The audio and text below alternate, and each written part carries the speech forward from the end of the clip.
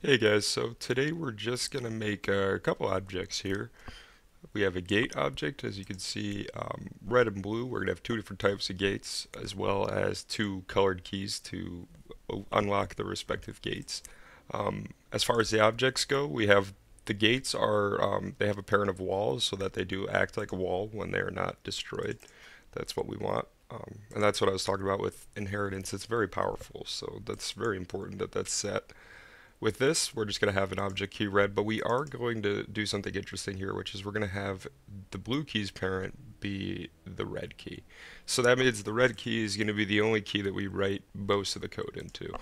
Um, and then later, a little bit later on, we're going to get into writing some AI for a spider enemy, and that's going to be pretty interesting. So uh, we did move the second room up a little bit, as you can see, so we could test it first, and we put the walls here so just just make it however you want, but we want a good testing ground, and this seemed pretty good to me.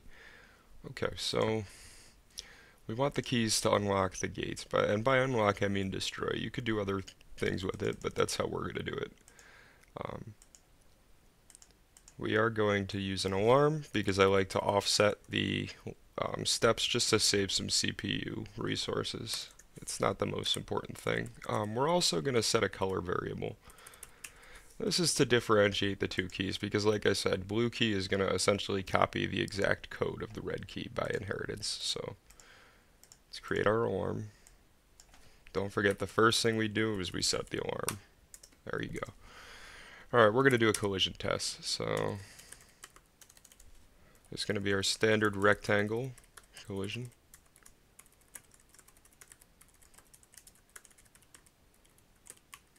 Box right, box top. Object player is what we want to collide with. Wait, these are zero again.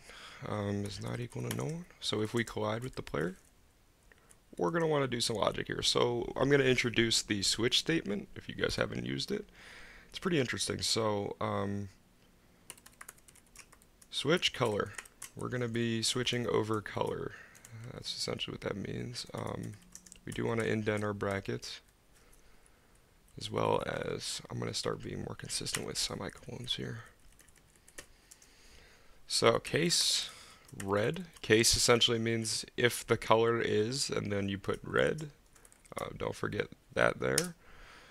If the color is red, we're going to want to set a variable. Let's say um, gate object equals I think it's, let me just check what we have. Object gate red. We're essentially telling it that um, the object we're going to destroy is the red gate if we have a red key. Uh, don't forget break. This essentially means that we're going to stop this um, this execution and not go through the rest of the switch. You don't want to go through the rest of the switch. Uh, case blue. Gate object equals object gate blue. Break there, and we're going to do a default. Default means that if we don't run into either of those two cases, we're going to execute this. Um, we just want to do this just in case we forget to set a color on one of the keys, which obviously that'll be an error, but we want it to gracefully make an error. So uh, we'll set that there. We do need to define that variable. Bang. Um, now we also want to destroy, now we want to destroy the gate essentially. So we're going to use a with. With means that whatever you pass um, into the with as the variable, it's going to execute the following code as if it was being executed by that variable, uh, which is an object. So we'll use gate object.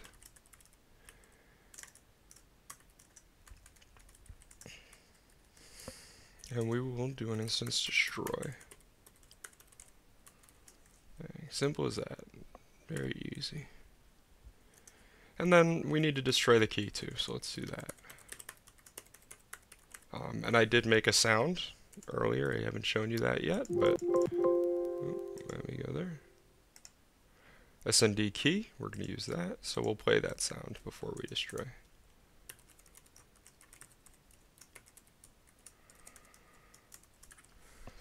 Alright, let's do a little bit of commenting here.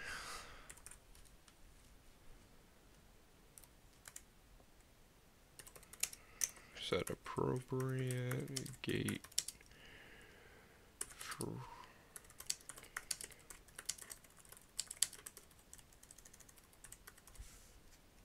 Um, there we go.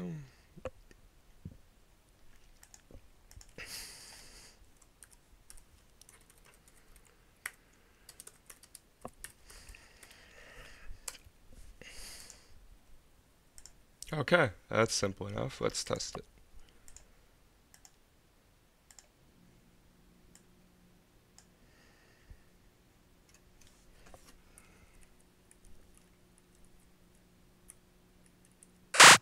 Oh, that worked well. Okay.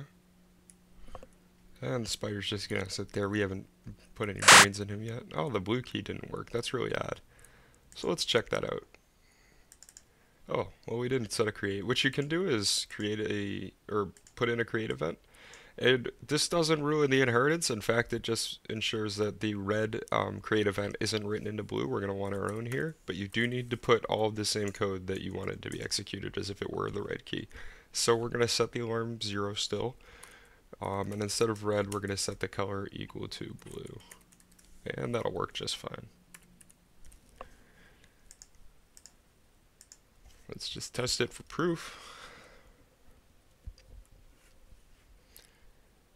Interestingly enough, somebody uh, mentioned or was wondering why I was using GameMaker 8 instead of Studio. It is because I prefer GameMaker 8. Um, the reason for that is because the execution time for compiling is just way quicker. It might GameMaker Studio might be much less of a resource hog, but GameMaker 8 is definitely quicker to develop with, at least for what we're doing. Simple simple tutorials and things like that.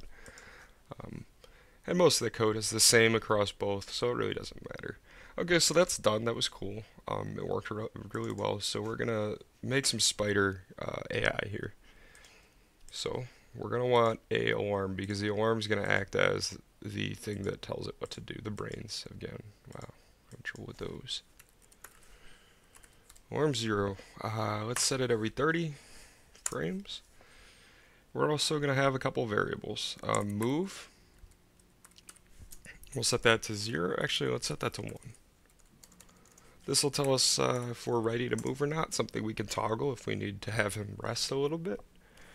So let's set those.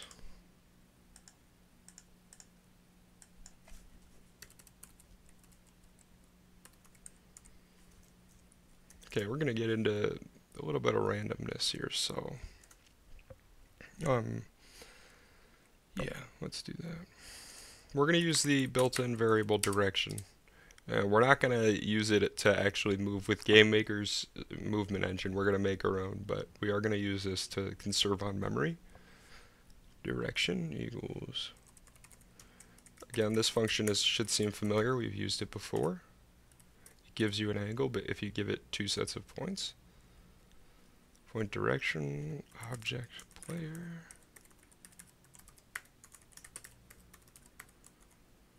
And we're going to add some randomness here because true spiders don't always walk perfectly towards the person or anything like that. They're going to walk a little bit skewed. So we're going to do minus 20 plus random 40. What that does is it gives us a range from 20 degrees uh, subtracted from this angle up to 20 degrees added from this angle because 40 is going to obviously go past the negative 20 by 20 degrees. So that balances it out perfectly. And then we are going to decide whether or not to move.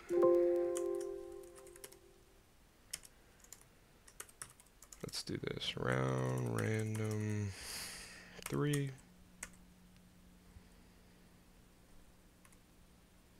Is e less than or equal to 1. We're going to use a round there to give us a whole number because random does by default give us a non-integer, but we want an integer in this case.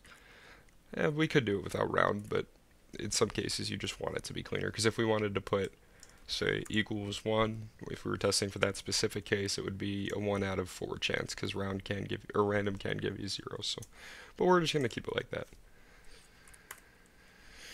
And set move, if that is true. Oh, I forgot my semicolon there. And let's set move to 1 if that is false. Because it's going to be false more often than not. And we want him moving. Uh, it just seems to make sense. So that is set, but we are going to use a step event here because we have to make him actually move. So if move equal, let's go this way, if move equals 1, and collision again. We want to make sure he's not colliding with where he's moving. Um, but we also need to find out where he's moving towards. There's a nifty function called lengthdir, so let's set um,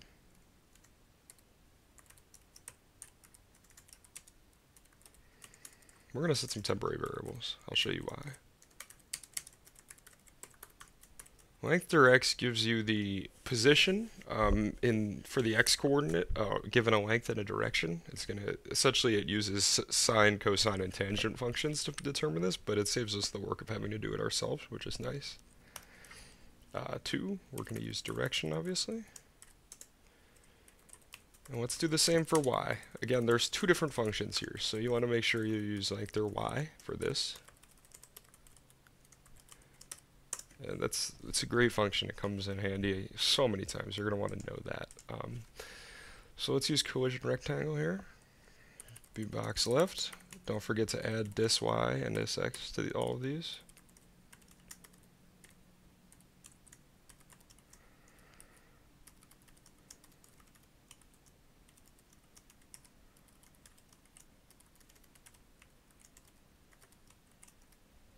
All right. Um, yeah, we're going to check for the wall.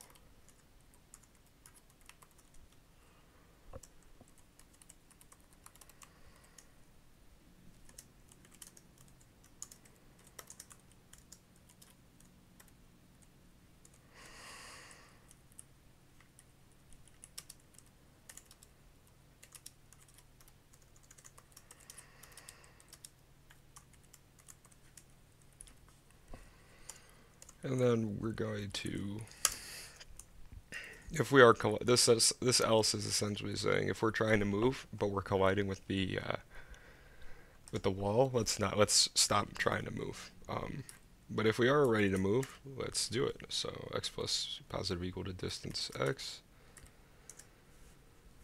Uh, distance y, or y positive equal to distance y. Okay, let's try that out.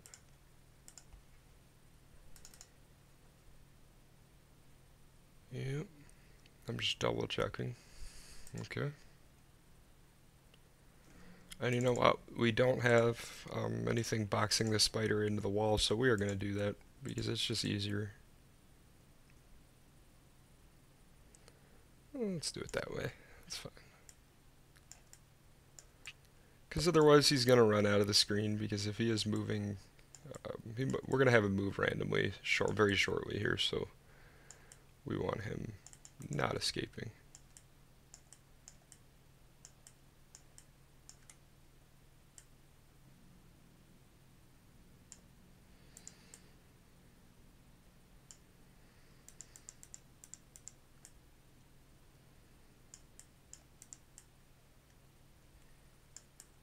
Okay. Let's put that blue key in. Let's try it out.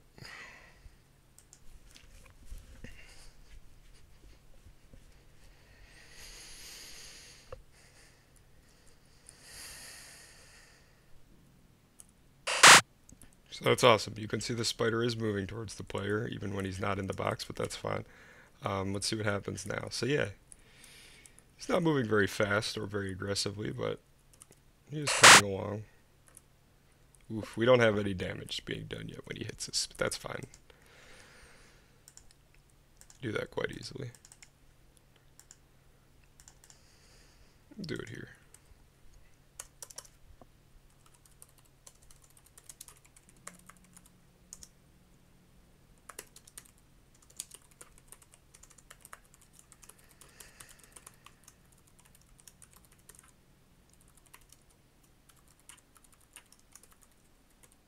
Again, all we're doing is putting in some collision for the player.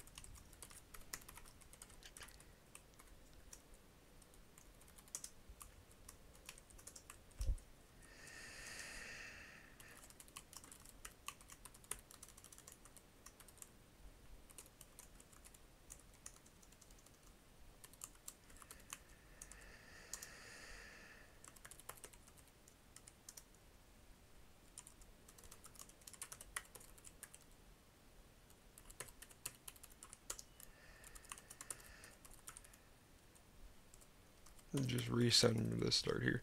There's actually a better way to do this um, collision because we have, as you've noticed, we have um, spike here, which also collides with player, and we have our own sort of logic for that, what it does when it does collide. Um, I think actually that was put in the player, interestingly enough. So here we go. So play appropriate death sound if we die, um, and then check hazard here. We did have check hazard, that's right. So we could always put it in there, why not?